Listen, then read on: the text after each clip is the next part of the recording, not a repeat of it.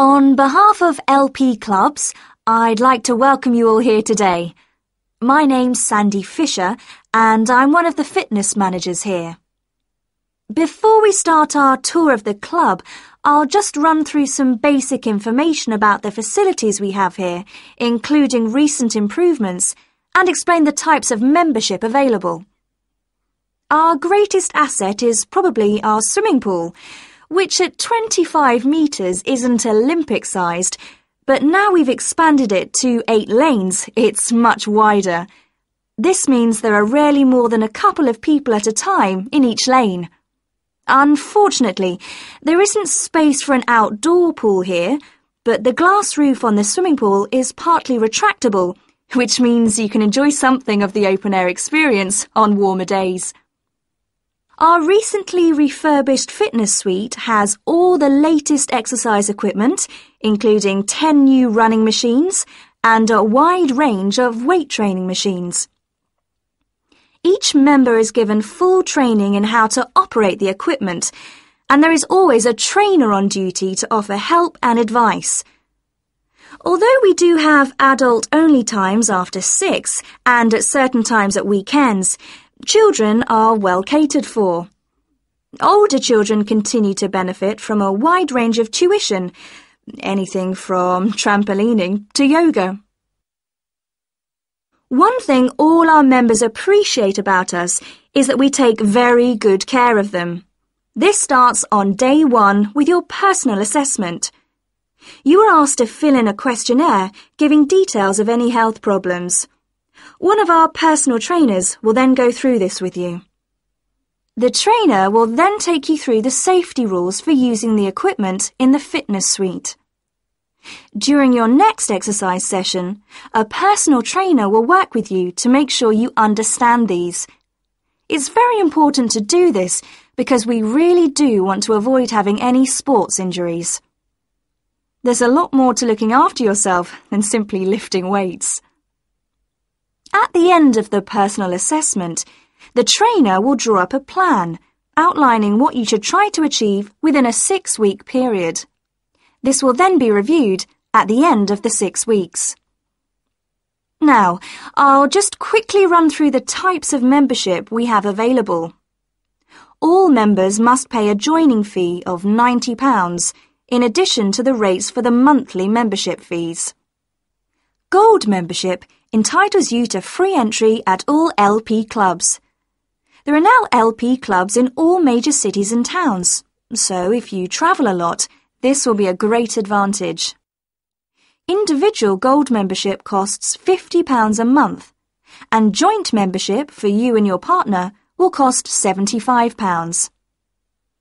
Premium membership is for professional people whose work commitments make it difficult for them to use the club during the day and so LP gives booking preferences to Premier members at peak times.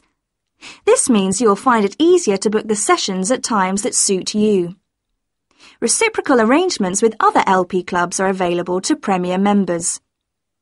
Premier membership is for individuals only, but you'll be sent passes for guests every month.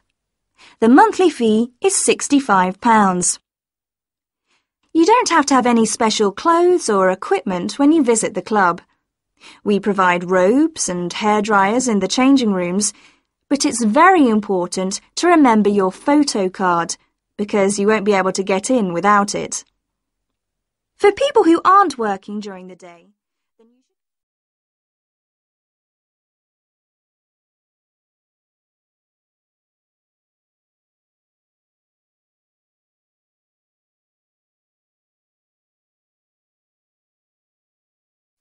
Um, hello, Professor.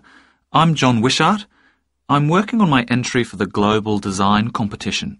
My tutor said you might be able to help me with it. Ah, yes, I got a copy of your drawings. Uh, come in and tell me about it. What sort of competition is it?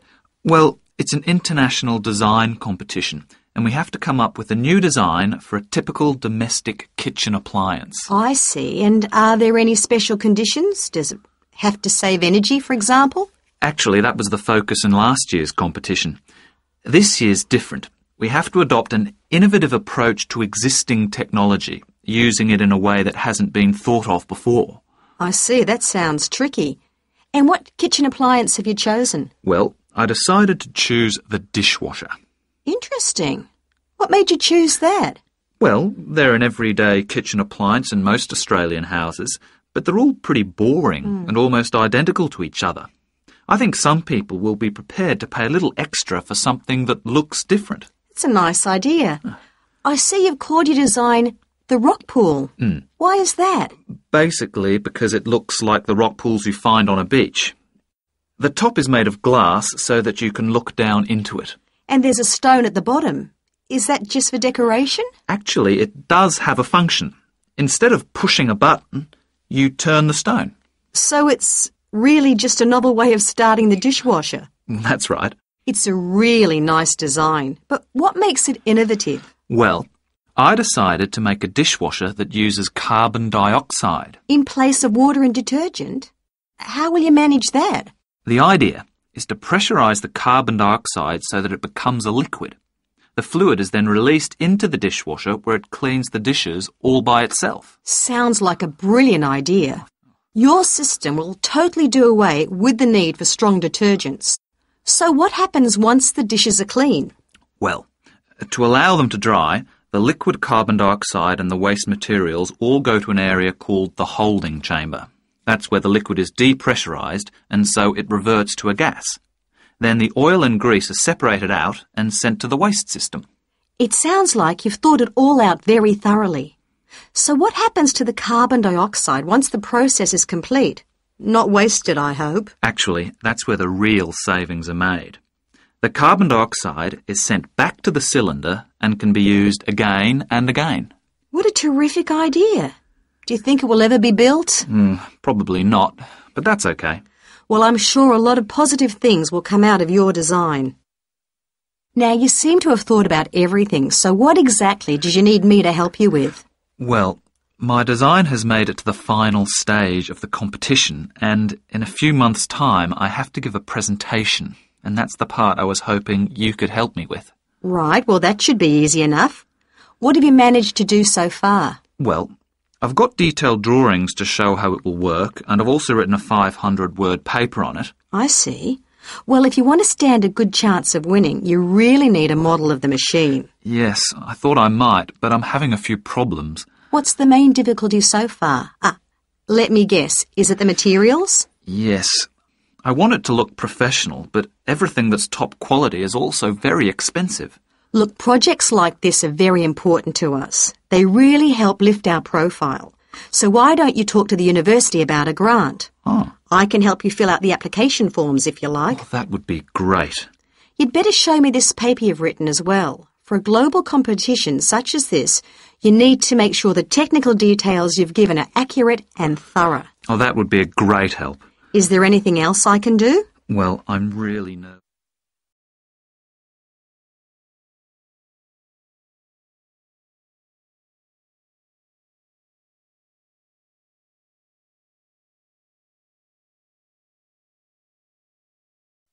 Today, we continue our series on ecology and conservation with a look at a particularly endangered member of the black bear family. One in ten black bears is actually born with a white coat, which is the result of a special gene that surfaces in a few. Local people have named it the spirit bear, and according to the legends of these communities, its snowy fur brings with it a special power. Because of this, it has always been highly regarded by them, so much that they do not speak of seeing it to anyone else. It is their way of protecting it when strangers visit the area. The white bear's habitat is quite interesting. The bear's strong relationship with the old-growth rainforest is a complex one. The white bear relies on the huge centuries-old trees in the forest in many ways. For example, the old-growth trees have extremely long roots that help prevent erosion of the soil along the banks of the many fish streams. Keeping these banks intact is important because these streams are home to salmon, which are the bear's main food source. In return, the bear's feeding habits nurture the forest.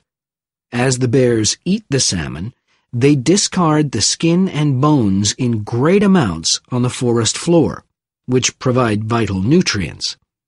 These produce lush vegetation that sustains thousands of other types of life forms, from birds to insects and more.